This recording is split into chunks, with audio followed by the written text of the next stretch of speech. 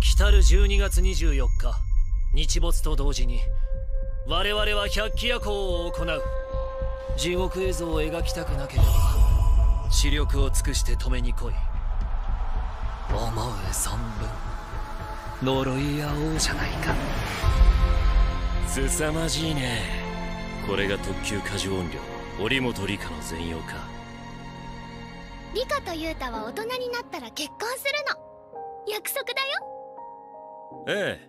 乙骨ユタは呪術高専で預かります。無理だよ僕。